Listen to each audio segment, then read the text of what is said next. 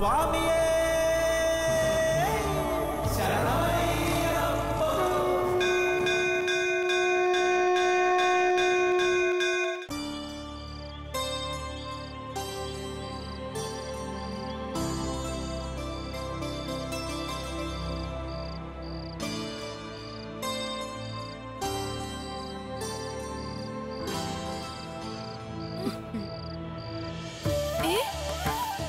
ജ്യേഷ്ഠ ജ്യേഷ്ഠൻ ഗുരുകുലത്തിൽ പോയതല്ലേ?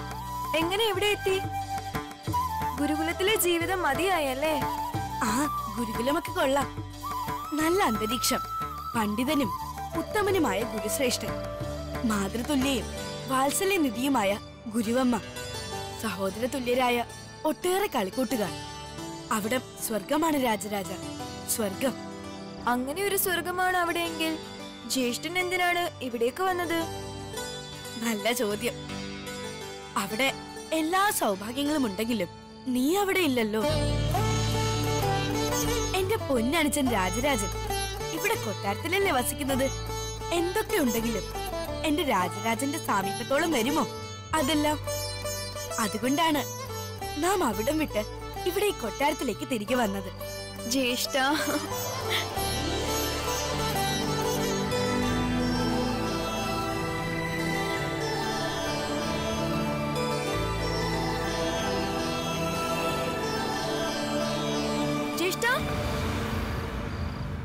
ജ്യേഷ്ഠ? ജ്യേഷ്ഠ? കുമാര രാജരാജ എന്തു പറ്റി? നിനക്ക് എന്ത് സംഭവിച്ചു? മാതേ ജ്യേഷ്ഠൻ ജ്യേഷ്ഠനെ കാണാനില്ല. മണികണ്ഠനെ കാണാനില്ലെന്നോ? നീ എന്താണ് ഈ പറയുന്നത്? മണികണ്ഠൻ ഇവിടെ നിന്ന് പോയിട്ട് എത്ര നാളുകളായി? കുമാരൻ ഇപ്പോൾ ഗുരുകുലത്തിലല്ലേ താമസം? അല്ല ജ്യേഷ്ഠൻ ഇവിടെ വന്നിരുന്നു. ഇത്രയും നേരം എന്റെ അരികിലുണ്ടായിരുന്നു.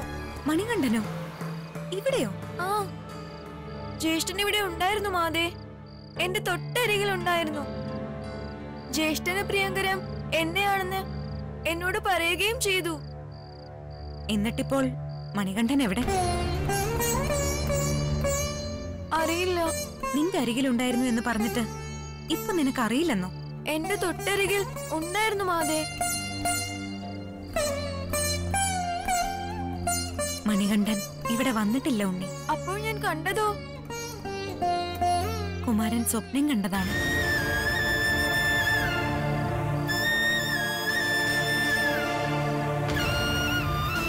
മണികണ്ഠനെ കുറിച്ചല്ലേ എപ്പോഴും നിന്റെ ചിന്ത? അതുകൊണ്ട് നീ നിന്റെ ജ്യേഷ്ഠനെ സ്വപ്നം കണ്ടതാണ്. സാരമില്ല. കുമാരൻ ഭഗവാൻ ശ്രീകൃഷ്ണനെ സ്മരിച്ചുകൊണ്ട് കിടന്നുറങ്ങ. അമ്മയും കൂടി കിടക്കും.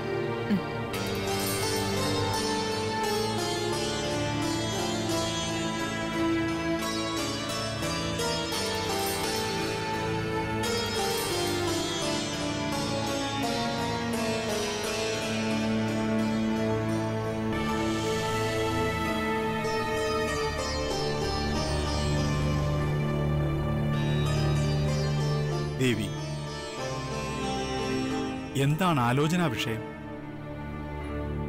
ഗുരുകുലവാസം ആരംഭിച്ചു കഴിഞ്ഞ മണികണ്ഠകുമാരന്റെ ജീവിതഗതി ഇനി ഏത് ദിശയിലേക്കായിരിക്കും എന്നാണ് നാം ആലോചിക്കുന്നത്.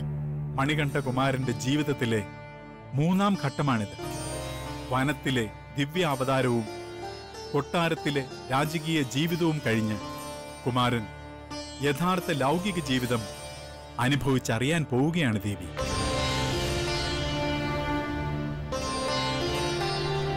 ഗുരുകുലത്തിൽ വച്ചുണ്ടാകുന്ന അനുഭവങ്ങളാണ് കുമാരന്റെ അവതാരഭാവത്തെ പ്രോജ്വലിപ്പിക്കാൻ പോകുന്നത്.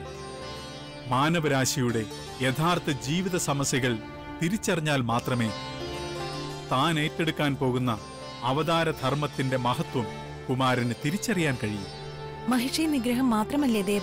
കുമാരന്റെ അവതാരോദ്ദേശ്യം അല്ല കുമാരൻ കലിയുഗ വരതനാണ്. ദൈവീക പ്രഭാവം നഷ്ടപ്പെട്ടുകൊണ്ടിരിക്കുന്ന കലിയുഗത്തിന്റെ കാവൽ ദൈവമാണ് മണികണ്ഠൻ.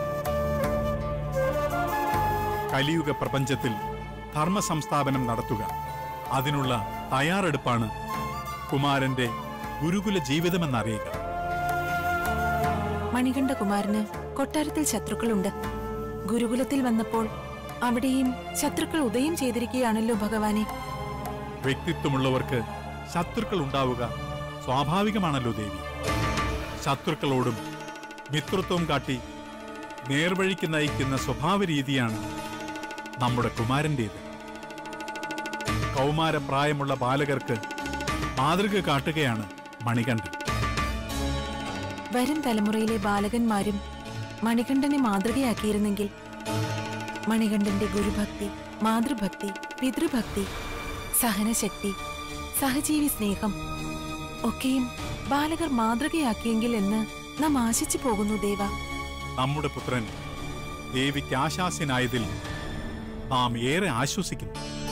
ഐശ്വര്യത്തിന്റെ അതിദേവതയായ ദേവിയുടെ കടാക്ഷം കുമാരന് മുതൽക്കൂട്ടായി ഭവിക്കട്ടെ.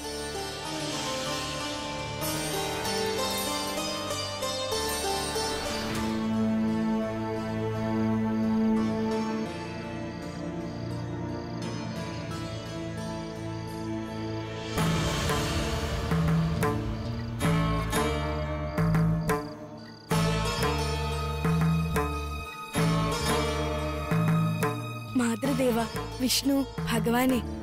അവിടുന്ന് രണ്ടുപേരും മണികണ്ഠന്റെ ഗതിവിഗതികൾ നിരീക്ഷിക്കുന്നുണ്ടല്ലോ.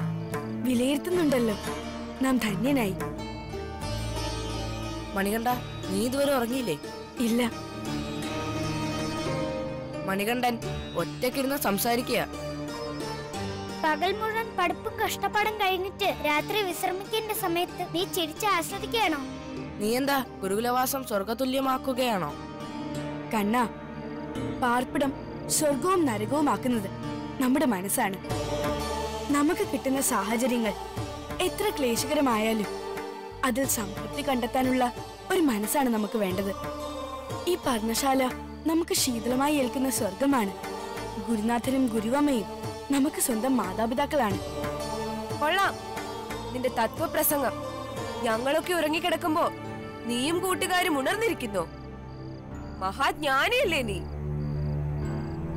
കുറെ പേർ ഒരുമിച്ച് ഉറങ്ങിക്കിടക്കുമ്പോ നിങ്ങൾ മാത്രം ഉണർന്നിരിക്കുന്നത് ശരിയാണോ?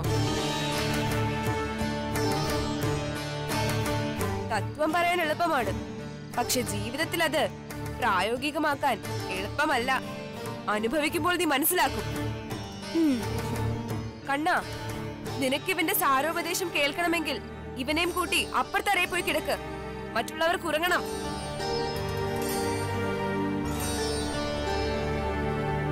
അനുഭവമാണ്.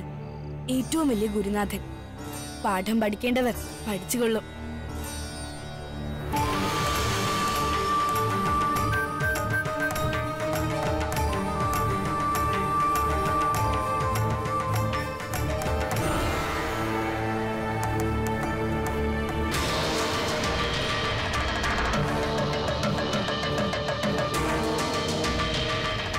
മണികണ്ഠനിപ്പോ ഗുരുനാഥൻ മകുടിയുടെ പർണശാലയിലാണ് സംരക്ഷിക്കാൻ സൈന്യമോ കാവൽ നിൽക്കാൻ പടയാളികളോ ഇല്ല.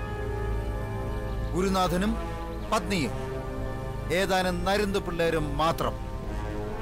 കൊല്ലാൻ എളുപ്പമാണ്. അതുകൊണ്ട് കൊന്നിരിക്കണം.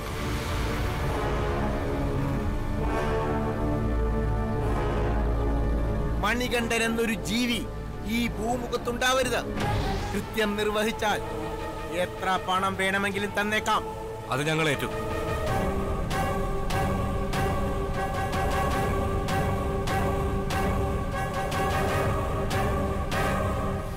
മന്ത്രി അദ്ദേഹം ഇതെന്താണ് ആലോചിക്കുന്നത്? എന്തെങ്കിലും പ്രധാനപ്പെട്ട കാര്യം? മണികണ്ഠനെ മാത്രം തെരഞ്ഞു പിടിച്ച് കൊല്ലുന്നത് എളുപ്പമല്ല ചക്രപാണി. എലിയെ പേടിച്ച് ഇല്ലം ചുടുന്നു എന്ന് കേട്ടിട്ടില്ലേ? ആ. മണികണ്ഠൻ എന്ന വിഷച്ചുണ്ടലിയെ കൊല്ലാൻ വർണശാല കത്തിക്കുക.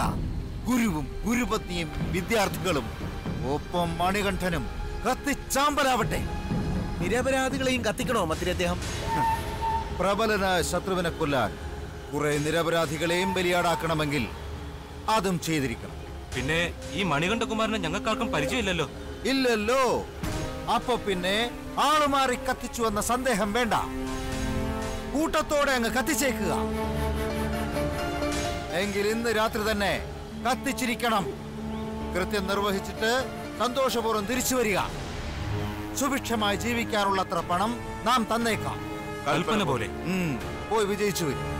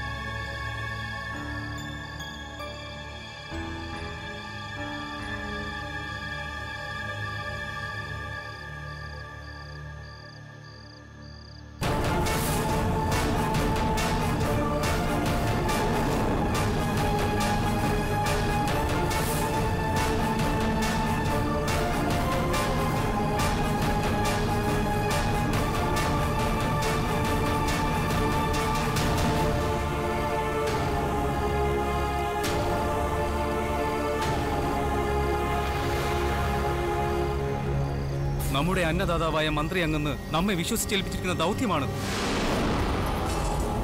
വളരെ വലിയൊരു സംഖ്യയാണ് ഈ കൃത്യത്തിന് പ്രതിഫലമായി അദ്ദേഹം വാഗ്ദാനം ചെയ്തിരിക്കുന്നത്. ഈ പർണശാല അഗ്നിക്ക് ഇരയാക്കണം ഇതിനുള്ളിൽ നിശബ്ദനായി ഗാഠനിദ്രയിൽ ആണ്ടിരിക്കുന്ന പന്തള രാജകുമാരനായ മണികണ്ഠനെ അവന്റെ സതീർത്ഥരോടൊത്ത് ചുട്ടു ചാമ്പലാക്കണം.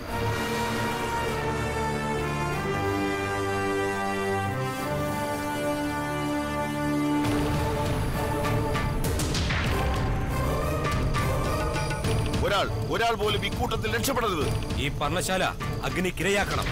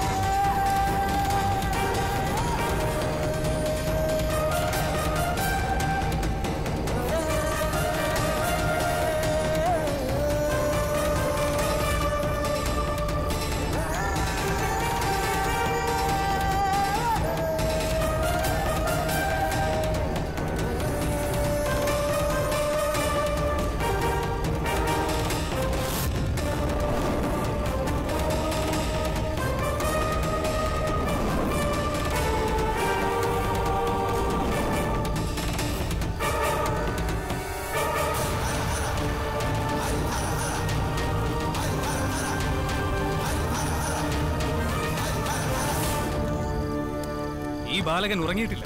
ആരാണിവൻ? സംശയം വേണ്ട. നിങ്ങൾ തേടിക്കൊണ്ടിരിക്കുന്നത് നമ്മെ തന്നെയാണ്. ഇത് രാജകുമാരനോ? അതെ പന്തള രാജ്യത്തെ രാജശേഖര പാണ്ഡ്യ മഹാരാജാവിന്റെ സീമന്ത പുത്രനും ഭാവി യുവരാജാവുമായ മണികണ്ഠകുമാരനാണ് നാം മണികണ്ഠനോ? ഇനി നീ ഇവിടെ നിന്ന് രക്ഷപ്പെടുന്ന പ്രശ്നം ഉദിക്കുന്നില്ല. ഇവനെ രക്ഷപ്പെടാൻ അനുവദിക്കരുത്. വർണശാല വളയുക തീ വയ്ക്കുക ഇവിടെ നിന്ന് ഒറ്റ ഒരെണ്ണം പോലെ രക്ഷപ്പെടരുത്. ദയവ് ചെയ്ത് ബഹളം കൂട്ടരുത്. അകത്തെന്റെ സതീർത്ഥ്യർ ഉറങ്ങുകയാണ്. പിന്നെ എന്റെ ഗുരുനാഥനും പത്നിയും അപ്പുറത്തുറങ്ങുന്നുണ്ട്. അതിന്? നിങ്ങൾക്ക് നമ്മയല്ലേ ആവശ്യം. അതുകൊണ്ട് നമ്മെ ആക്രമിച്ചുകൊള്ളൂ. മറ്റുള്ളവരെ വൃഥാ ദ്രോഹിക്കരുത്. അതൊന്നും ഞങ്ങൾക്കറിയില്ല. ഞങ്ങളുടെ മേലാവ് കുമാരനെ ഉൾപ്പെടെ ഈ പർണശാല കത്തിച്ച് അഗ്നിക്കിരയാക്കാനാണ് കൽപ്പിച്ചിരിക്കുന്നത്. അദ്ദേഹത്തിന്റെ ആജ്ഞ അനുസരിക്കാൻ ഞങ്ങൾ ബാധ്യസ്ഥരാണ്. ഓഹോ അങ്ങനെയാണല്ലേ? എങ്കിൽ ശരി. നിങ്ങളെ കൊണ്ട് സാധിക്കുമെങ്കിൽ ഈ പർണശാല അഗ്നിക്കിരയാക്കിക്കൊള്ളൂ. എല്ലാം കത്തിച്ച് ചാമ്പലാക്കണ.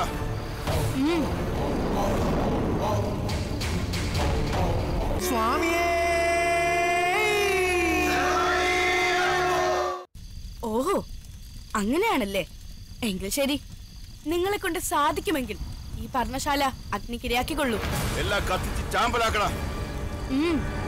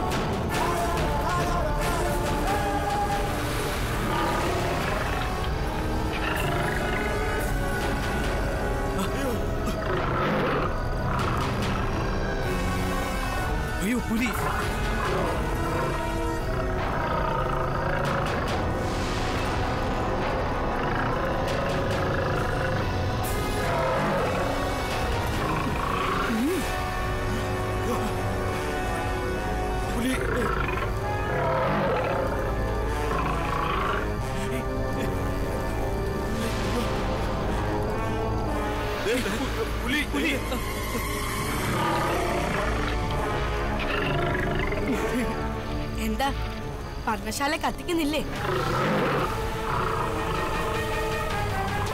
എന്ത് തീരുമാനിച്ചു?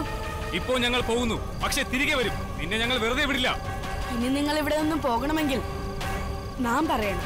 ഞങ്ങൾക്ക് പോകാൻ അറിയാം അതിന് നിന്റെ സമ്മതം വേണ്ട.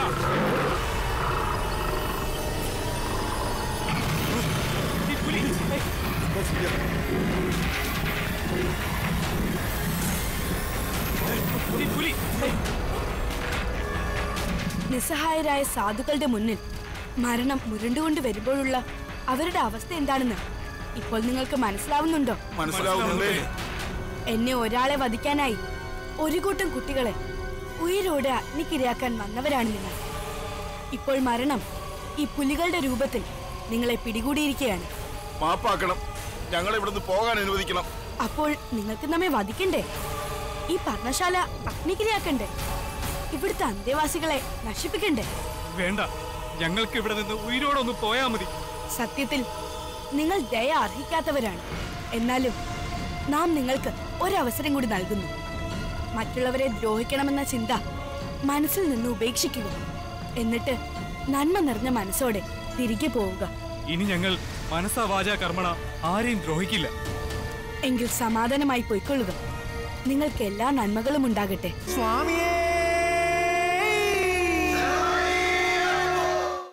ഇനി ഞങ്ങൾ മനസ്സാ വാച കർമ്മണ ആരെയും ദ്രോഹിക്കില്ല. എങ്കിൽ സമാധാനമായി പോയിക്കൊള്ളുക. നിങ്ങൾക്ക് എല്ലാ നന്മകളും ഉണ്ടാകട്ടെ.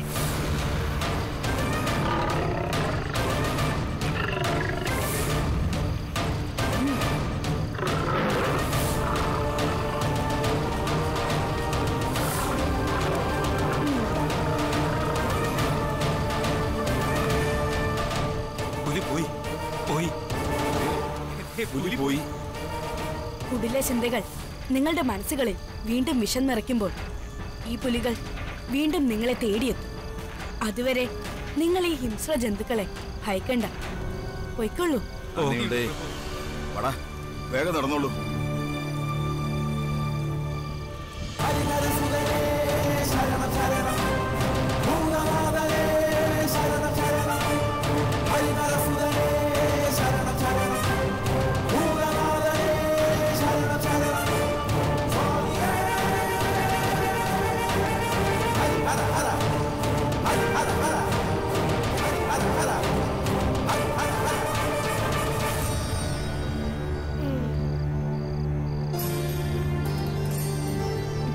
കുമാരൻ ഈ അർദ്ധരാത്രിയിൽ ഒറ്റയ്ക്ക് എവിടെ പോയതാ?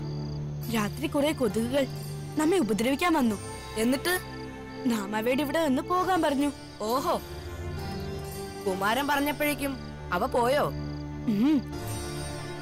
ഇനി നിങ്ങളെ ഇവിടെ ഒരാളും ഉപദ്രവിക്കാൻ വരില്ല. വരൂ നമുക്ക് സമാധാനമായി കിടന്നുറങ്ങാം. ഉറങ്ങിക്കൊള്ളൂ